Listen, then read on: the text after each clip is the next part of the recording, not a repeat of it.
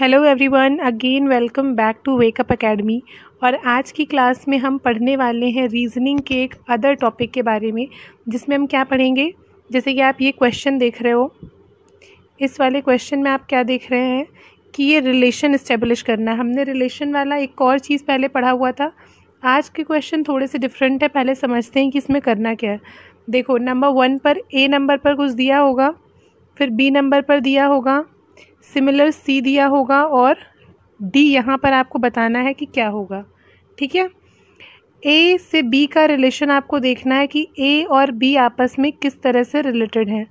और जिस तरह से ए और बी आपस में रिलेटेड हैं, उसी तरह से सी के लिए डी का रिलेशन क्या होगा, ये आपको चार ऑप्शंस में से फाइंड आउट करना होगा। ठीक है? आई होप आपको समझ में आ गया। ऐसा एक टॉपिक हम पहले भी पढ़ चुके हैं किसमें? रीजनिंग के अंदर। तो ये आपको समझ में आ गया होगा इसमें करना क्या है। तो शुरू करेंगे फ़र्स्ट क्वेश्चन के साथ में। नंबर वन नंबर वन पर क्या है? पिट्यूटरी ब्रेन थाइमस तो थाइमस के साथ आगे क्या होगा? तो देखो, जब हम बात करते हैं पिट्यूटरी की तो इसके लिए आपको पता होना चाहिए किसके बारे में, आपको नॉलेज होना चाहिए बायोलॉजी का बायो का नॉलेज आपको होना चाहिए। ठीक है?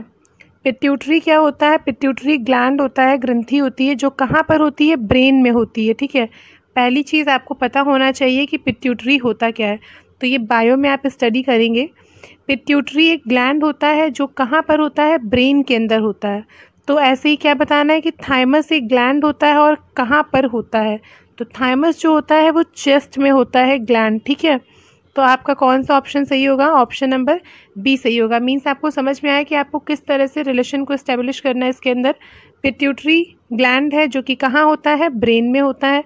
तो उसी तरह से आपको क्या बताना है कि थाइमस क्या है? थाइमस ग्लैंड है। कहाँ पर होता है? तो चेस्ट में होता है। चेस्ट हो जाएगा आपका राइट आंसर नंबर टू पर है फोरकास्ट फ्यूचर रिग्रेट देखो फोरकास्ट किसके लिए होता है? फोरकास्ट होता है फ्यूचर के लिए। जो भी हमारा फ्यूचर की चीज़ें होती हैं, उसके लिए फोरकास्ट होता है। ठीक है? मतलब फ्यूचर के लिए फोरकास्ट होता है। उसी तरह से रिग्रेट किसके लिए होता है? तो रिग्रेट होता है पास्ट के लिए। जो बीत गया उस पर हमें क्या होता है? पछतावा होता है। ठीक है?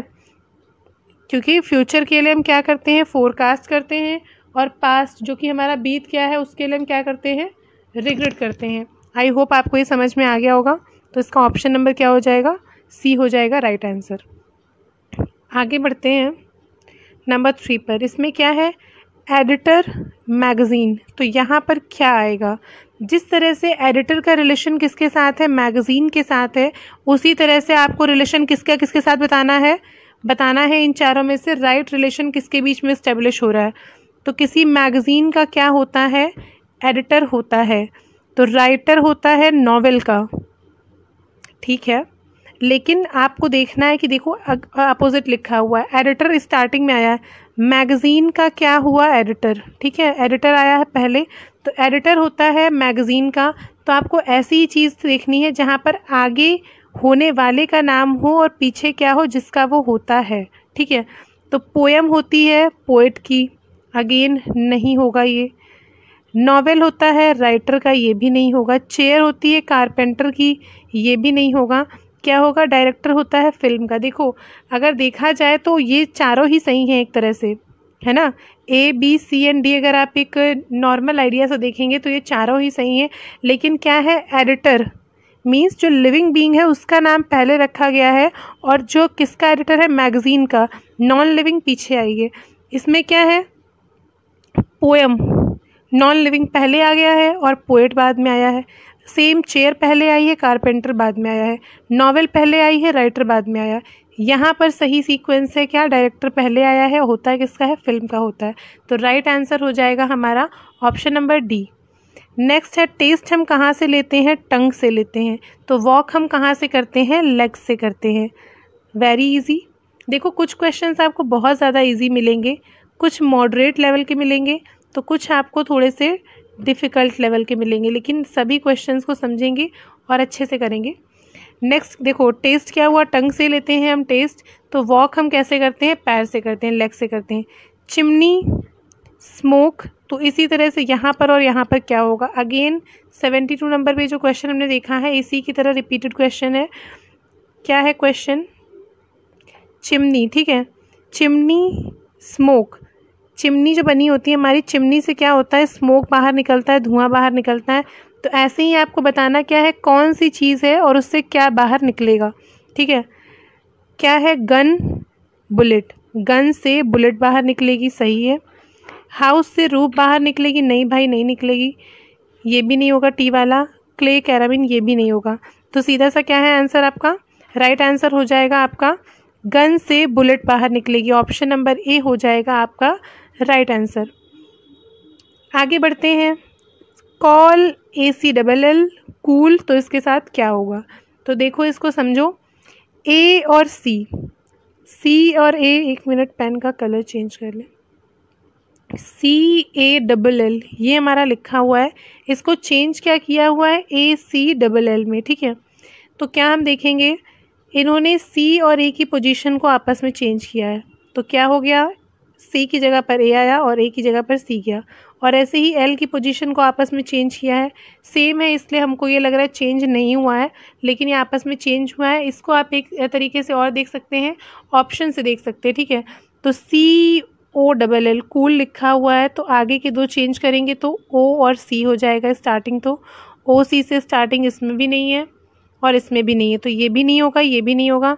ये क्या है? सी एल सी ओ ओ है तो ये भी नहीं होगा। सिंपली आपका ऑप्शन नंबर डी हो जाएगा राइट आंसर ठीक है? नेक्स्ट पंजाब की कैपिटल क्या होती है? चंडीगढ़। उसी तरह से जनरली आपको क्या बताना है? असम की कैपिटल क्या होती है? That is Dispur. इसके लिए क्या है आपको? कंट्रीज़ अरे स्टेट्स और कैपिटल्स के नाम पता होने बहुत ज़्यादा ज़रूरी हैं। कि कौन सा स्टेट है और उसकी क्या कैपिटल है। नहीं तो अच्छा आपके एफ़ कैट के स्टेट और कैपिटल से ध्यान आया। एफ़ कैट के एग्ज़ाम के अंदर कंट्री और कैपिटल से भी क्वेश्चन आता है एक। ठीक है?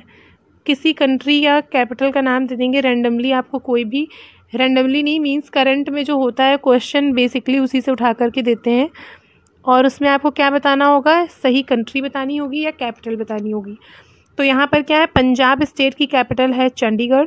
आपको बतानी किसकी है? असम की दैट इज़ दिसपुर। आगे बढ़ते हैं।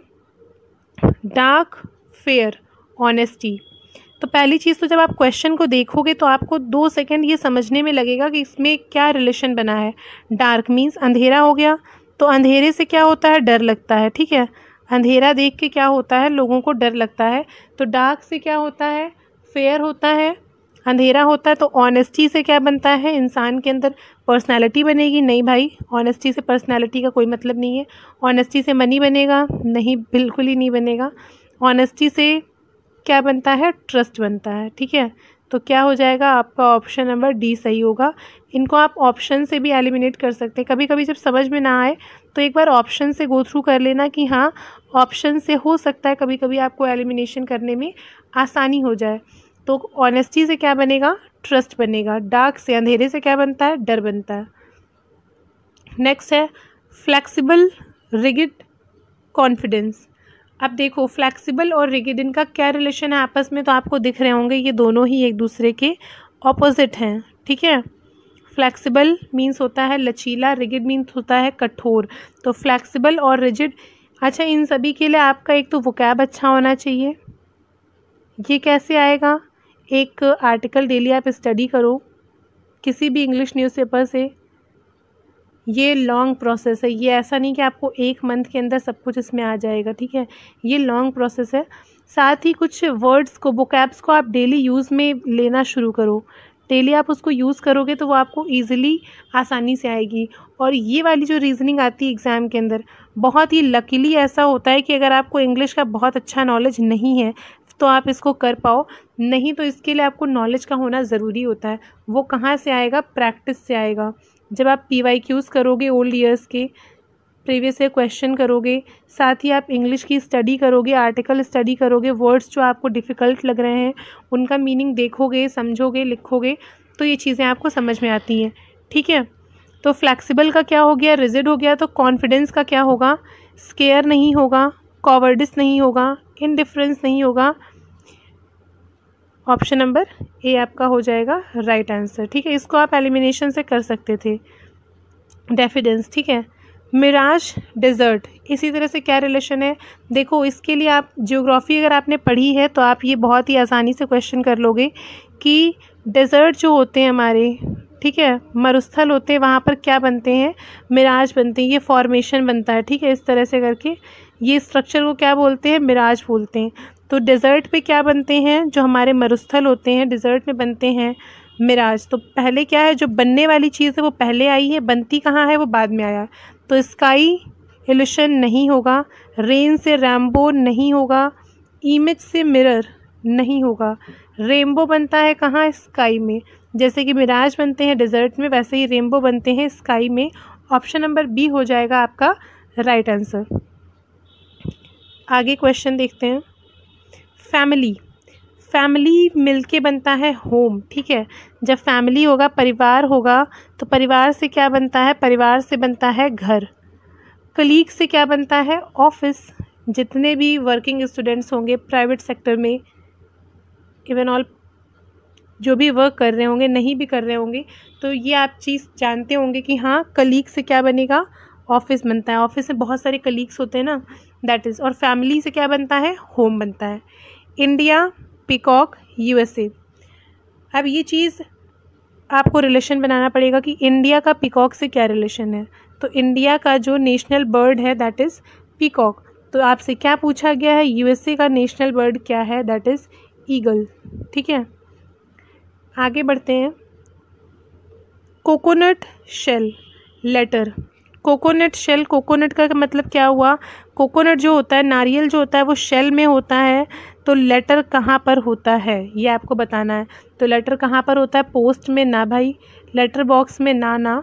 पोस्टल स्टाम्प में नहीं। कहाँ होता है? इन्वेलप में, ठीक है? कहाँ पर होगा? इन्वेलप में होगा। देखो, मैंने इजी क्वेश्चंस भी लिए हैं और थोड़े टफ़ क्वेश्चंस भी लिए हैं, ताकि आपको दोनों ही चीज़ें समझ में आए कि आपको एग्ज़ाम में करना ज़रूरी है क्या? प्रैक्टिस और प्रैक्टिस आप कहाँ से करेंगे? प्रीवियस ईयर क्वेश्चन से करेंगे। ये बेस्ट होता है तरीका प्रैक्टिस के लिए। नेक्स्ट है बिस्मिल्ला खान और बिरजू महाराज। तो बिरजू महाराज का नाम सुनकर ही आप समझ सकते हैं कि इनका रिलेशन किससे है। तो बिरजू महाराज बिरजू महाराज का रिलेशन किससे होगा? इनका नाम सभी ने सुना होगा। ये कत्थक से रिलेटेड है, ठीक है? कत्थक से। ये भी क्वेश्चन आपके एग्ज़ाम में मोस्टली जो भी करंट में पर्सनालिटी होती है ना, वो किससे रिलेटेड है? ये भी क्वेश्चन आपके एग्ज़ाम में आता है एफ़ के, ठीक है? आगे बढ़ते हैं। इन्फ्लुएंजा और रिंग वॉम तो इन्फ्लुएंजा क्या होता है? इन्फ्लुएंजा होता है हमारा वायरस और रिंग वॉम क्या होता है? बताना है आपको। ये होता है फंगी ठीक है? इसके लिए क्या है? अगेन आपको नॉलेज होना ज़रूरी है। बायोलॉजी का, ये सेम बायो का क्वेश्चन है। तो इन्फ्लुएंजा होता है वायरस और रिंग वॉर्म होता है फंगी ठीक है? ऑप्शन नंबर बी होगा right answer next question microphone loud microscope तो माइक्रोफोन जो होता है वॉल्यूम को लाउड करने का काम करता है। ठीक है माइक्रोफोन क्या करता है? वॉल्यूम को लाउड करने का काम करता है तो माइक्रोस्कोप क्या काम करेगा? चीज़ों को मैग्नीफाई करने का काम करता है तो ऑप्शन क्या हो जाएगा आपका? सी नंबर का होगा राइट आंसर ठीक है, ये थोड़े से आसान क्वेश्चन है, अभी आपको टफ क्वेश्चन भी इसमें दिखेंगे. साउंड मीडियम और लाइट कहाँ से? वैक्यूम से. डेमोक्रेसी इंडिया के अंदर क्या है? डेमोक्रेसी है. तो कम्युनिज्म किसके अंदर है? कम्युनिज्म कहाँ पर है? तो चाइना में क्या है? कम्युनिज्म है. इंडिया में क्या है डेमोक्रेसी? तो कम्युनिज्म कहाँ पर है? ये बताना है आपको, वो कहाँ पर है? चाइना में है। नेक्स्ट क्वेश्चन है एक्सप्लोर डिस्कवर तो इसी की तरह सेम टू सेम आपको सेम टू सेम कहाँ पर मिलेगा? नीचे ऑप्शंस में। एक्सप्लोर करने से क्या होगा? जब आप एक्सप्लोर करोगे तो कुछ डिस्कवर करोगे, ठीक है? तो रीड करोगे तो सिम करोगे, नहीं होगा। रिसर्च करोगे तो कुछ लर्न करोगे हाँ हो सकता है। राइट करोगे तो प्रिंट करोगे, ज़रूरी नहीं है। थिंक करोगे तो रिलेट करोगे, ये भी हो सकता है। लेकिन अगर आप ऑप्शन के अकॉर्डिंग जाएँगे क्वेश्चन की डिमांड क्या है? एक्सप्लोर करने से, घूमने से कुछ नया डिस्कवर होता है तो रिसर्च करने से कुछ नया लर्न होता है, ठीक है? तो ऑप्शन नंबर बी होगा आपका right answer second last question क्या है? एनाटॉमी जूलॉजी देखो, ये जो क्वेश्चन है आपके, तीनों ही क्वेश्चन इससे आपको एक चीज़ समझ में आएगी कि लूसेंट बुक के अंदर आप देखना साइंस में एक आपको टॉपिक दिया हुआ है जिसमें सभी लॉजी करके हैं, ठीक है? जूलॉजी किससे डील करती है और डेमटोलॉजी किससे डील करती है कालोलॉजी किससे डील करती है, ये सभी क्वेश्चंस आपको दिए हुए हैं। किस लिए दिए हुए हैं? क्योंकि ये आपके एफ़ के एग्ज़ाम्स के अंदर आते हैं। डायरेक्टली ये किसमें आएँगे? या तो आपको मिलेंगे रीजनिंग के अंदर। मोस्टली बहुत कम ऐसा होगा कि आपको जीएस से मिलेंगे कि रीजनिंग के अंदर आते हैं, क्या कवर करने को आते हैं। कि जूलॉजी का रिलेशन आपको दे दिया किससे है और बायोलॉजी का रिलेशन पूछ दिया किससे है। जैसे कि that is ninety seven number का क्वेश्चन आप देखोगे। सेक्रेशन से रिलेशन दिया हुआ है इसका और किसका? सेलेनोलॉग्राफी का रिलेशन आपसे पूछा है किसके साथ होता है। तो ये आपको कवर कहाँ से होगा? ये लूसेंट से कवर होगा आपको। अगर आपके पास बुक नहीं है या आपको नहीं मिल रहा है तो मैं आपको ये टेलीग्राम के ग्रुप में प्रोवाइड कर दूँगी इसकी पीडीएफ पेज की। जिसमें आपको ये सारे क्वेश्चंस मिल जाएँगे। उसमें जो मोस्ट इंपॉर्टेंट है, वो मैंने खुद से अंडरलाइन कर रखे हैं। उसको आप ज़रूर से स्टडी कर लेना। तो ऐसे ही सेल सेलेनोलॉजी का ग्राफी का रिलेशन किससे होता है? मून से होता है, ठीक है? वायरोलॉजी वायरस को डील करती है। तो सिमेंटिक्स किसको डील करते हैं? लैंग्वेज को डील करते हैं। इसके लिए क्या है? आपको पढ़ना बहुत ज़रूरी है। नहीं तो ये वाले जो क्वेश्चंस आते हैं रीजनिंग के अंदर, ये फिर आपको छोड़ने पड़ जाएँगे। तो कोशिश यही रहेगी कि हाँ कोई क्वेश्चन ऐसा ना आए जो पता हो और छूटे। तो मैं आपको इसकी पीडीएफ शेयर कर दूँगी बुक की। लास्ट क्वेश्चन देखते हैं। Cup is to coffee as bowl is to देखो, कप का रिलेशन क्या होता है? कप में हम पीते हैं कॉफ़ी तो बाउल में हम क्या पियेंगे? दैट इज़ सूप फ़ूड को पी नहीं सकते हैं बाउल में। स्पून को भी नहीं पी सकते हैं डिश को भी नहीं पी सकते हैं। क्या होगा? सूप ठीक है। Cup is to coffee as bowl is to soup play is to actor as concert is to musician. Musician का होता है, ठीक है? प्ले किसका होता है? एक्टर का होता है। ऐसे कंसर्ट किसका होता है? दैट इज़ फॉर म्यूजिशियन तो ये जो क्वेश्चंस हैं, ये हर बारी एग्ज़ाम में आते हैं एफ़ के एफ़ कैट के एग्ज़ाम में। बहुत ही रेयर कभी ऐसा हुआ होगा कि ये क्वेश्चन नहीं आएँगे। और ये क्वेश्चन आपको कैसे आएँगे? तो ये अगेन आई रिपीट कि पी वाई क्यूज़ से आपको ये क्वेश्चंस आएँगे। इसीलिए जितना ज़्यादा हो सके आप पी वाई क्यूज़ पर ध्यान दो। टॉपिक मुझे समझाना था कि हाँ आपको किस तरह से इन क्वेश्चंस को डील करना है। तो वो मैंने आपको समझा दिया, इसमें कुछ ईजी भी थे और टफ़ भी थे मॉडरेट भी थे। अब हम क्या करेंगे? टेलीग्राम में मैं आपको इसकी पीडीएफ प्रोवाइड कर दूँगी आज। उससे आपको क्या करना है? इन सभी को स्टडी करना है। याद नहीं करना है। डेली बेसिस पर इनको लर्न करना लर्न करने से आपको ऑटोमेटिकली ये याद हो जाएँगे। जो आपको एग्ज़ाम में बहुत ज़्यादा हेल्प करेंगे सो आज के लिए इतना ही। मिलेंगे नेक्स्ट क्लास में नेक्स्ट टॉपिक के साथ में।